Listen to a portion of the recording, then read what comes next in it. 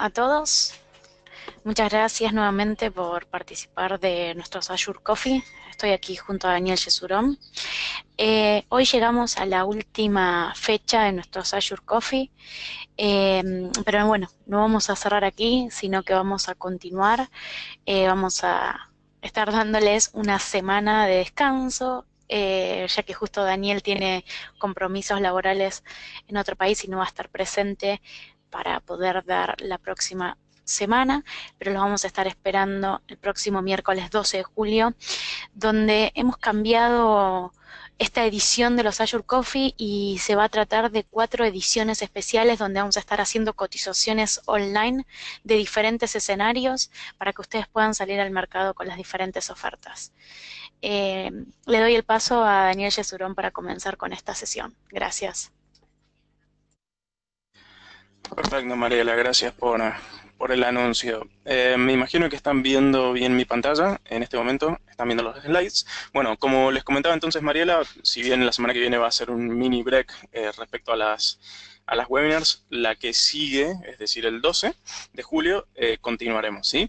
Eh, solamente les recuerdo, al final de esta presentación eh, tenemos los medios de contacto para que puedan enviarnos mails y sabiendo que vamos a estar trabajando con webinars de cotizaciones a partir del próximo ciclo, sería bueno que aprovechen de enviarnos correos respecto a distintos tipos de escenarios que quieran ver. Si bien vamos a estar trabajando con escenarios de backup, recuperación de desastres, máquinas virtuales, si tienen alguno en particular, son bienvenidos a enviar esa información y la vamos a considerar.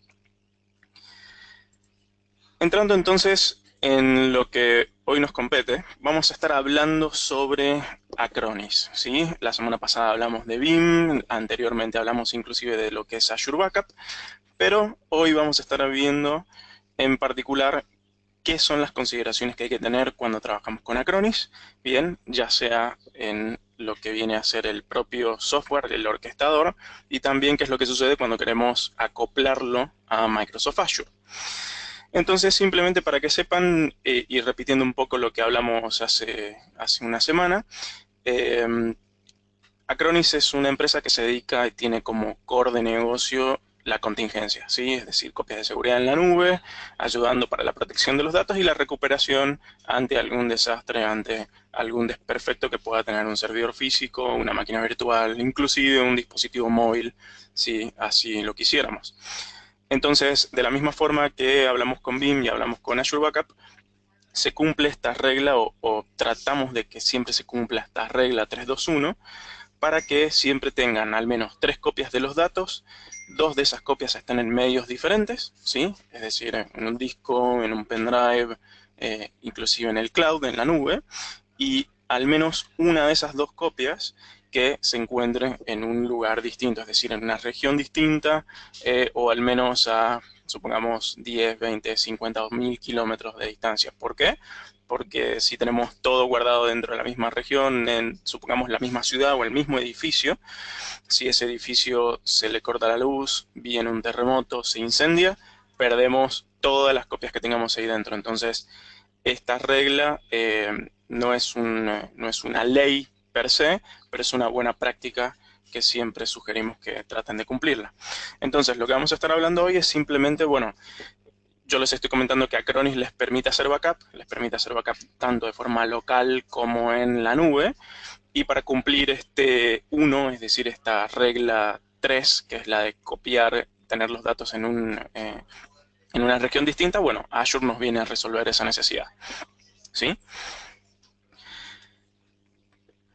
Entonces, ¿qué es lo que hay que tener en cuenta? Porque cuando uno básicamente ingresa al mundo de Acronis, lo primero que dice la gente de Acronis, que, está bien, es que, bueno, Acronis tiene su propio cloud, tiene su propia nube, por así decirlo. Entonces, eh, ellos cuando venden el servicio o te entregan el servicio vos como cliente final, te dicen, bueno, por un costo... Eh, X, bien que es un costo fijo por mes, tenés acceso a determinada cantidad de espacio donde vos eh, o vos como canal le puedes dar a tu cliente final para que, para que consuma. Entonces, de esta manera, Acronis, trabajando con su cloud, tiene todo ya bastante resuelto. Pero ¿qué es lo que sucede cuando ese cliente o ustedes como canales quieren guardar la información no en la nube de Acronis, sino en un data center local o la quieren guardar en otra nube, supongamos Azure? Entonces ahí es donde entra lo que se llama el Acronis Storage Gateway. Básicamente este gateway o puerta de enlace le dice a Acronis o al, programa que instalamos en los servidores, le dice, bueno, mira, en vez de ir a guardar la información al servidor de, a la nube de Acronis, anda a guardarla a Azure o anda a guardarla a este otro data center. Entonces, esta es la primera consideración que hay que tener si van a conectar a Acronis con Azure o van a conectar a Acronis con otra nube. Se necesita de un gateway o puerta de enlace que haga esta comunicación para que se puedan entender eh, eh, ambos programas, básicamente, ambos estados, es decir, Acronis por un lado y Azure por el otro. Entonces lo que pueden ver aquí en la imagen es que, en este caso estoy en una consola de administración de Acronis, y aquí en esta consola de administración pueden ver que hay tres gateways, bien, tres puertas de enlaces, y de la cual la que está marcada, bien, es la que viene por defecto con Acronis. Es decir, ustedes cuando ingresan a Acronis y acceden al servicio, automáticamente tienen ese gateway configurado que es el que les dice todo lo que ustedes guarden va a ir a la nube de Acronis. Los otros dos que están arriba, el gateway test 1 y el test 2, son simplemente dos gateways que yo creé y que les voy a mostrar cómo, cómo hacerlo para que la información vaya a Azure en vez de a la nube de Acronis en sí. ¿Sí? Entonces eso hay que tenerlo en cuenta y es una buena imagen para que la vean porque pueden tener tantos gateways como ustedes necesitan. ¿Y qué es este gateway en sí? Es una máquina virtual. Es una máquina virtual de Azure que ya está preconfigurada y uno directamente es el típico siguiente, siguiente, siguiente, le dice las credenciales de Acronis que va a necesitar para que los reconozca a ustedes y se configura y se da de alta. Entonces lo que les voy a mostrar rápidamente antes de que puedan empezar a hacer preguntas es, bueno, ¿y esto cómo se ve en Azure? ¿Qué es lo que, qué es lo que tengo que buscar? Entonces, ustedes teniendo ya sus cuentas de Azure, en realidad la cuenta de cada uno de sus clientes, o si lo van a hacer ustedes por su, para ustedes mismos, lo que buscan es básicamente, eh, el, eh, buscan lo que se llama el Acronis Storage Gateway, ¿sí? y Azure les va a mostrar esta opción, la que pueden ver acá en, pantalla en este momento. Entonces, como cualquier máquina virtual que uno genera en Azure, simplemente a la derecha en la zona inferior pueden ver que está el botoncito crear. Y cuando le dan crear, Azure lo que les va a mostrar es un paso a paso de qué es lo que ustedes tienen que ir configurando. Entonces esto es lo que tiene de bueno, no es algo complicado donde tengan que entrar a meter código ni ser desarrolladores, simplemente tienen que seguir los pasos que les da Azure para poder configurar este gateway en particular. Entonces, como pueden ver, acá me pide el nombre de usuario, me pide la contraseña, que la confirme obviamente para que sea la misma. Me va, a pedir, bueno, en qué suscripción, en este caso podría ser un pase para probarlo.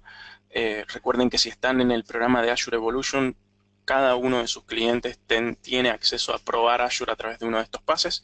Simplemente nos pueden enviar un correo a nosotros y lo gestionamos con ustedes. Y debajo me va a preguntar, bueno, el grupo de recursos al cual va a pertenecer este gateway. Que este grupo de recursos, ya lo había explicado en un webinar anterior, pero simplemente para ponerlo en pocas palabras, les permite agrupar varios recursos para que, si ustedes tienen varios clientes en la misma suscripción, no esté todo mezclado. Y finalmente me pide la ubicación en ese paso, que es dónde va a estar ubicada esa maquinita virtual.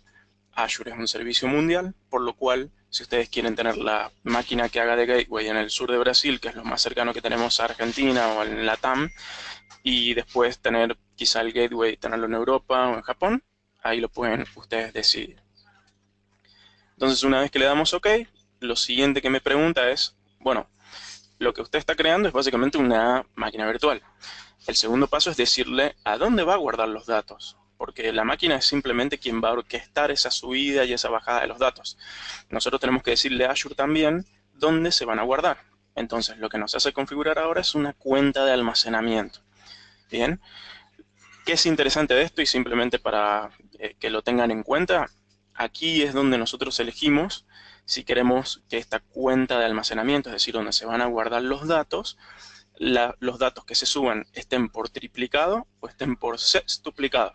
Entonces esa es una de las características y punto de venta también de Azure, del por qué utilizar esto en Azure y no utilizarlo directamente con Acronis.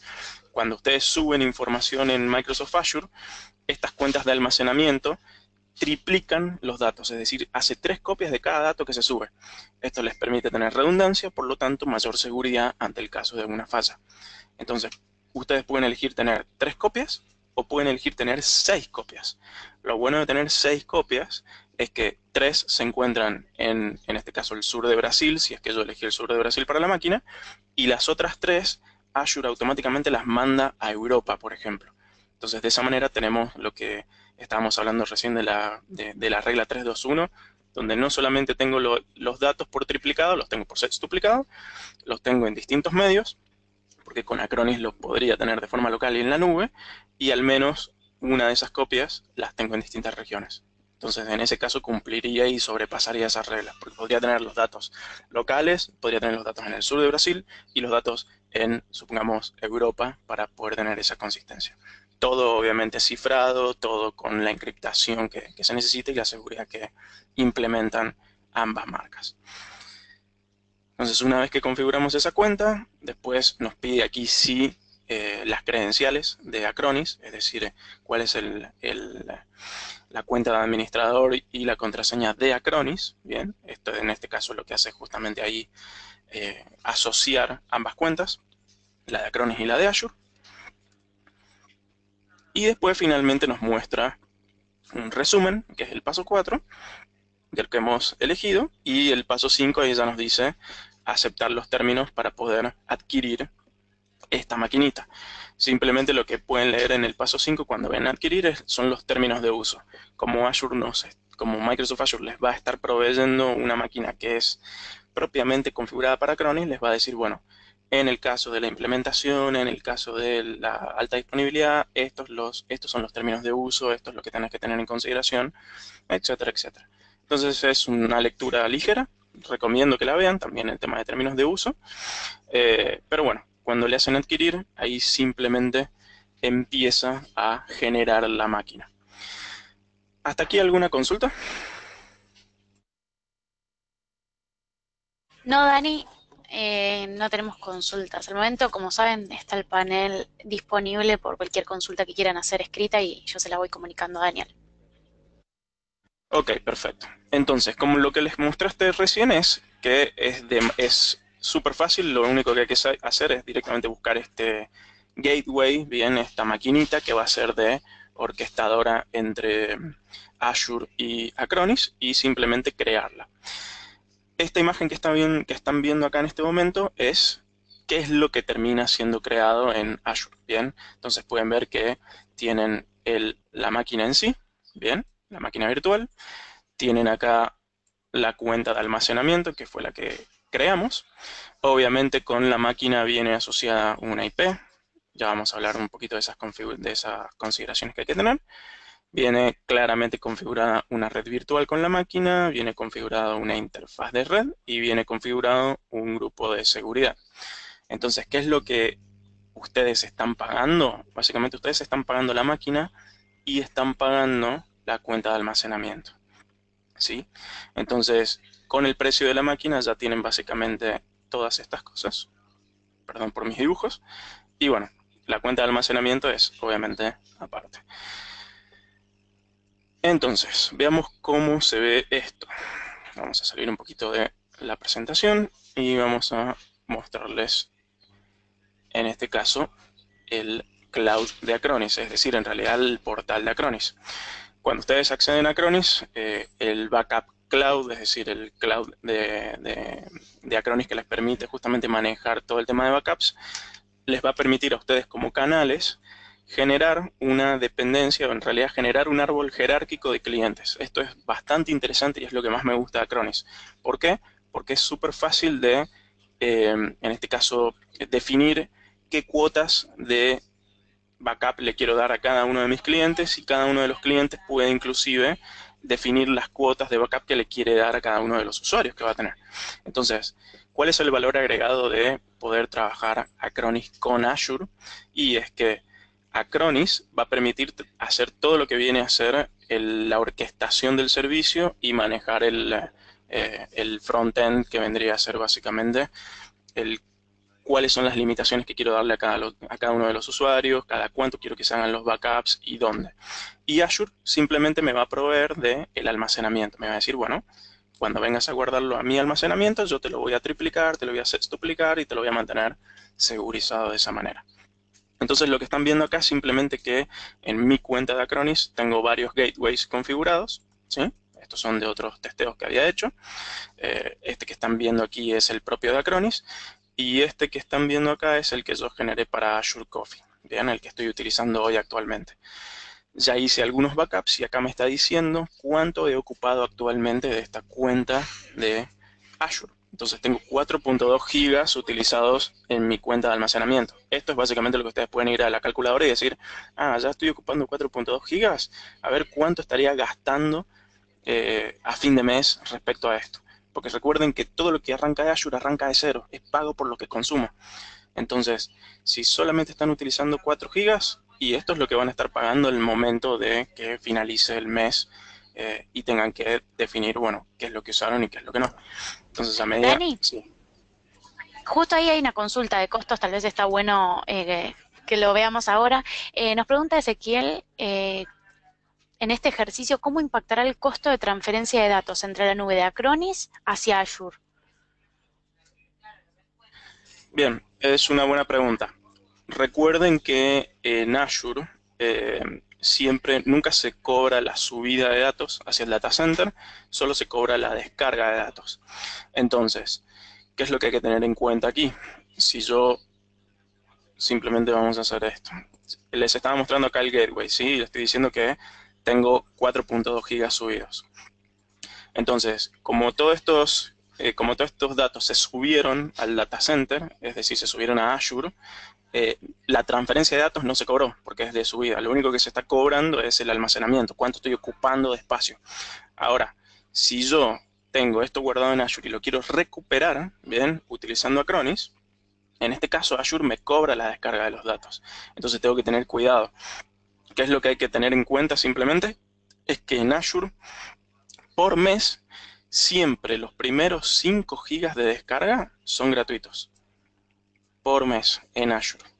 Entonces, si yo quisiera recuperar estos 4.2 gigas que tengo ahora a una máquina, a un teléfono, a donde sea que haya hecho el backup, Azure no me va a cobrar la descarga de los datos, sino que simplemente me va a decir, bueno, descargaste 4.2, te quedan 0.8 gigas de descarga hasta que te empiece a cobrar realmente la transferencia de datos. Entonces, de esa manera ustedes pueden también definir o pueden saber, a ver, dependiendo de cuánto he descargado o cuánto he recuperado, bueno, cuánto es lo que estaría eh, pagando de transferencia, ¿sí? Y todo eso si se van ustedes a la calculadora y, por ejemplo, se van a la parte de redes y ancho de banda, vamos a ver si lo tomo acá la calculadora, si no, vamos a abrirlo también en, en otra en otra pestaña van a ver acá que en la calculadora cuando ustedes buscan ancho de banda, que es la descarga, es decir, cuando recuperan un backup, los primeros 5 gigas siempre son gratuitos. ¿Cuánto me va a estar cobrando a partir del sexto giga? Y estamos hablando aproximadamente unos 0.09 centavos de dólar. ¿sí? Si, si hubiera recuperado un giga completo. Bien, entonces pueden ver que realmente la recuperación de datos que cuando sucede esto y cuando hubo una falla, cuando hubo un desastre. Realmente son casos contados. Y como esto solamente pago por lo que se consume, no es que siempre me va a estar cobrando 100 gigas, por ejemplo. No, solamente me va a cobrar la cantidad de descarga que yo haya hecho y recién cuando haya superado esos 5 gigas. ¿sí? O sea que simplemente eh, para, para tenerlo en cuenta. ¿Hay alguna otra pregunta que, Eh, acá Ezequiel sigue haciendo una consulta. Nos está preguntando, va una segunda pregunta. Usando esta solución, la mecánica 321, se quedó ahí de Ezequiel con la consulta. Eh, nos pregunta cómo puedo eh, manejar las retenciones en Azure con la política 321.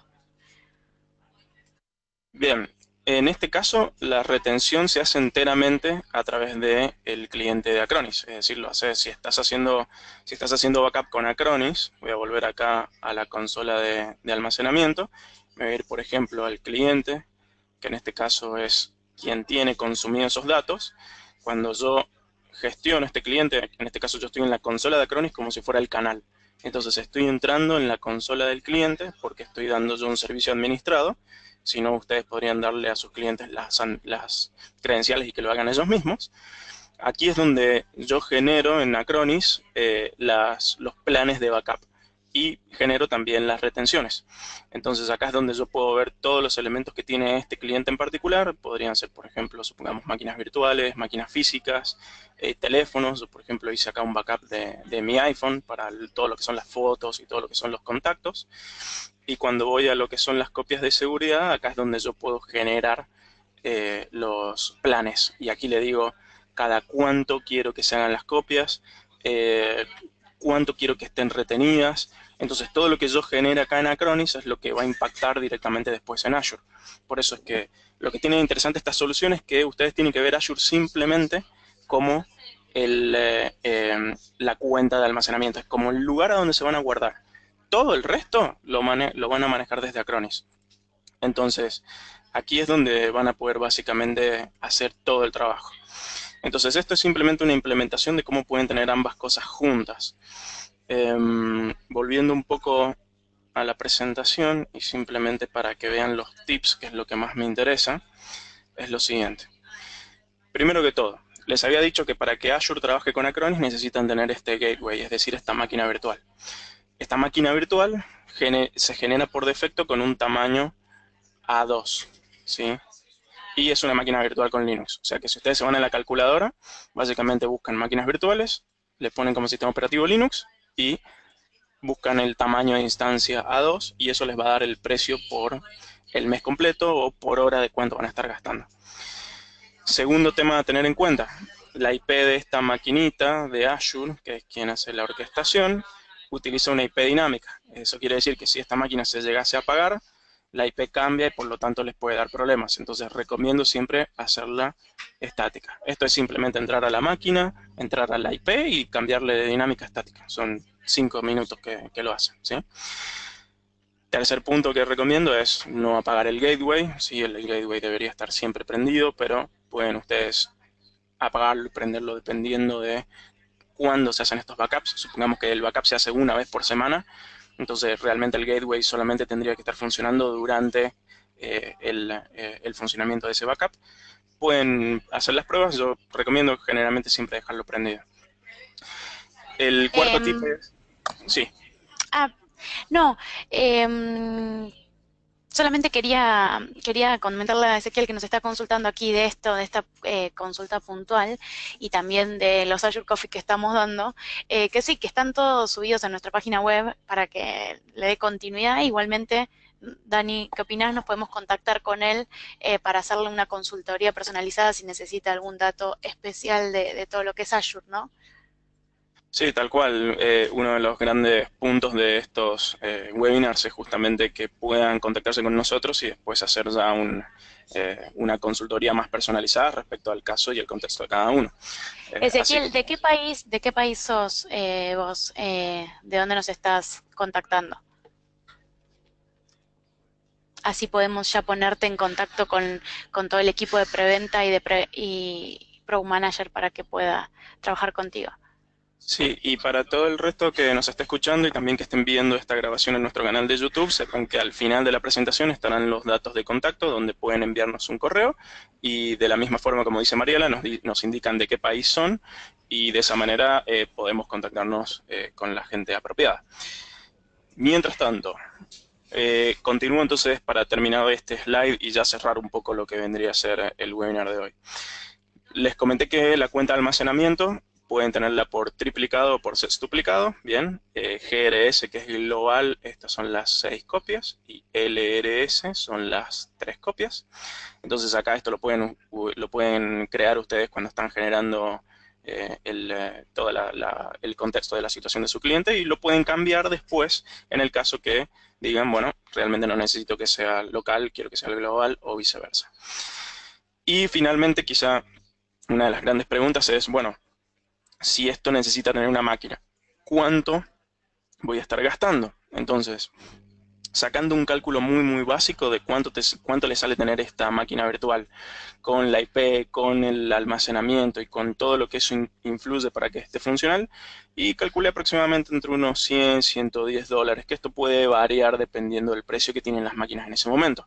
Recuerden que Azure siempre está mejorando la calidad de las máquinas, está agregando nuevas instancias y de esa manera los precios actuales de las máquinas que hoy se encuentran bajan en precio, ¿sí? manteniendo la calidad y mejorándolas. Entonces, esta maquinita A2, que hoy nos genera por defecto, ustedes podrían entrar en Azure y directamente cambiarla por la, por ejemplo, la A2 versión 2, que es la misma máquina con mejores, con mejores procesadores, y de paso además es más barata. Entonces, esto lo pueden cambiar, eso es lo que tiene de, bueno Azure, es totalmente editable y configurable, ¿sí? Entonces, simplemente esto es para que lo vean ahora y saquen un, aproximadamente un redondeo de cuánto les puede costar la solución, además de lo que sale tener Acronis, sino tenerlo conectado con Azure y darle esas capacidades extras. ¿Alguna, ¿Alguna consulta que haya quedado? Ok. Bien, entonces, ¿Cómo seguimos? Recuerden que tenemos nuestra dirección de correo que es aep, bien, arroba licenciasonline.com. Todos estos webinars son parte de nuestro programa de Azure Evolution Program que está dedicado para que ustedes puedan aprender y desarrollar sus habilidades en Azure desde el punto de vista comercial y técnico. El próximo webinar que vamos a tener va a ser ya a partir del 12 de julio, donde vamos a estar trabajando esta nueva modalidad, donde vamos a hablar mucho más de cómo cotizamos un caso en la calculadora de Azure, si bien estos webinars que estuvimos viendo hasta el momento fueron un poco más de cómo se ve el producto y cómo se conecta y cuáles son las consideraciones, siguientemente veremos un poco más bajado desde el punto de vista comercial cómo trabajarlo. ¿sí? Y si aún no están registrados en Azure Evolution Program, regístrense ya porque de esa manera van a poder acceder a todas las eh, funcionalidades del programa, no solamente a ver estos webinars, sino también a poder testear, por ejemplo, Azure con un Azure Pass, tener consultorías personalizadas y poder ayudarlos a cerrar estas oportunidades que cada vez más salen en el mundo de la nube. ¿Algo que quieras agregar? Dani, gracias. Eh, a, las personas que nos preguntan los diferentes links para ver, eh, como dijo Dani, adentro del programa Azure Evolution, ¿sí? Eh, en nuestra página web están todos los links de las sesiones anteriores. Hay una sesión que se llama webinars o videos y ahí están todas las sesiones grabadas tal cual las están escuchando ahora, las pueden eh, volver a ver. Como dijo Dani, a partir del 12 de julio empiezan otras sesiones de Azure Coffee, donde la idea es que ustedes tal vez vengan, em, vengan con consultas con algún tipo de cotización que tengan en mente de algún cliente y en vivo vamos a estar haciendo esas cotizaciones online para que ustedes ya puedan salir al mercado con estas ofertas de Azure, ya sea de, eh, recuperación de desastres, backup, base de datos, eh, máquinas virtuales. Los esperamos a partir del 12 de julio, ya les va a estar llegando la invitación nuevamente.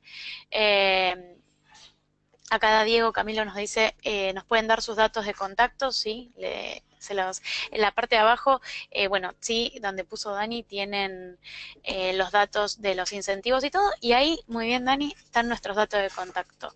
En mi caso, por la parte de marketing, en, la, en el caso de Dani, eh, la parte de arquitectura. Muchas gracias a todos. A ver, Diego está ok, si pudiste tomar los datos.